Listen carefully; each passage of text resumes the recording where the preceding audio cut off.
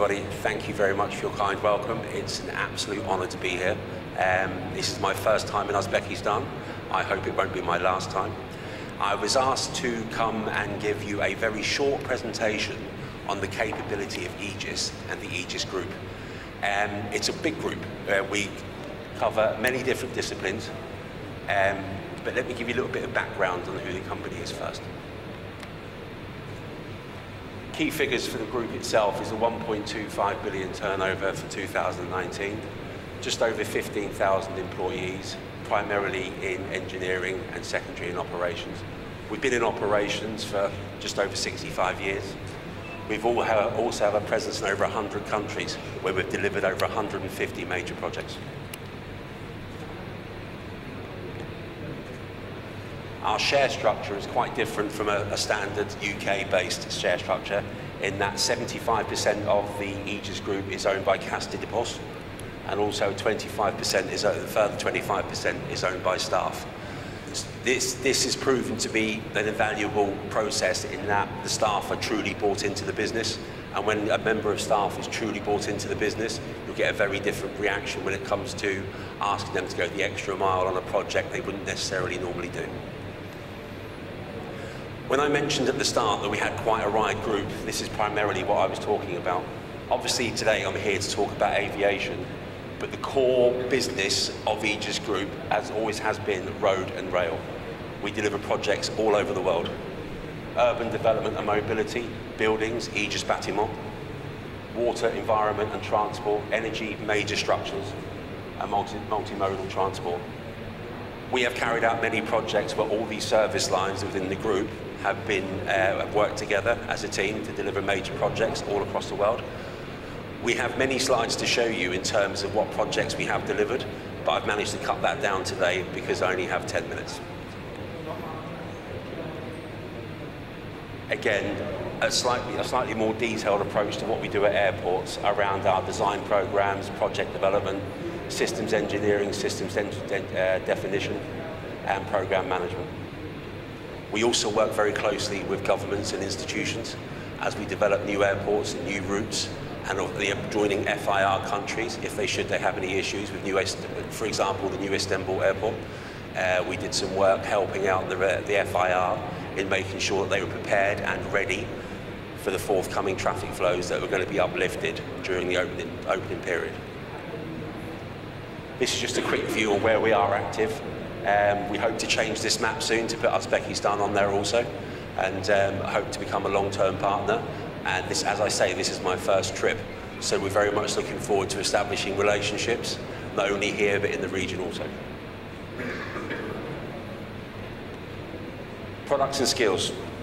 Previously isolated and distanced from cities, airport products and hyper-connected mega projects serving ever more numerous demanding passengers flow management, safety requirements, concentration on technical equipment, and the extension of exterior spaces make up the main challenges for airport projects. From feasibility studies through to project design, management phases, development of new services and facilities, Egis plans its airport in its full entirety. Egis also operates 17 airports spread across Europe, South America, Africa and Oceania making up an annual traffic of more than 27 million passengers and 270,000 tonnes of cargo. Egis's international expertise is a unique asset for achieving long-term success while working in varied, um, diff difficult political and cultural environments.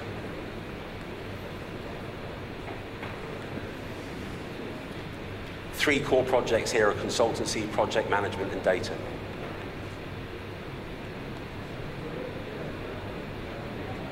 Another example of one of our ORAT delivery programs that we delivered last year. Training and knowledge transfer. Within the Egis Group, consultants, engineers, project managers, project developers, infrastructure and operators all bring their knowledge and expertise to design and management and the airports to exploit those skills. Institutions, government authorities and airport management companies, Egis guide you through the institutional and organisational regulatory issues. We carry out feasibility studies in creation of installers, development studies, and the extension of overhaul projects, including master plans. By first carrying out analysis of your requirements, we take into account the environmental dimensions of your projects and can offer exposure to the impact studies. Egis also carries out operational and technical studies. Prior to the construction of your development of an airport, we understand the order and, and, and aeronautical pay, we also deliver aeronautical pavements, runways, taxiways and parking stands, tar targeting buildings for Egis Bâtiment. All of this has the resource of providing equipment, engineering and airport services for airport safety. Our teams consider the airport as a whole, beyond those activities to specific air traffic control airport transport services, road, rail, engineering, multimodal infrastructure, city-side facilities, car parks, green spaces, taxi ranks, water and electricity.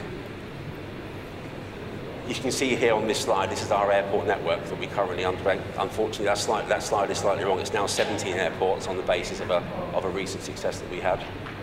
Again, going through our aviation capabilities, we do have a global aviation knowledge. We do have good partnerships, and we are very keen to develop those partnerships. We have highly skilled teams deployed around the world.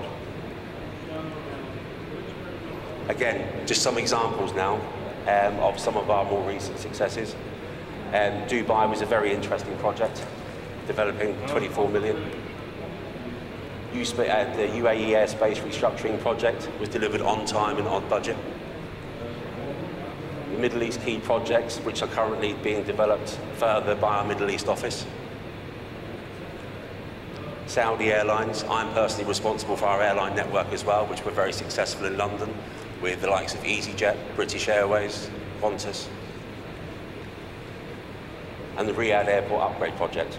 Again, a very successful delivery. Amaala, a recent project, also a great success. and GACA. Again, I don't want to go through too many slides and waste our time doing that. Nansat, Airport Authority of India, Cebu Airport, and Davao Bacalhau.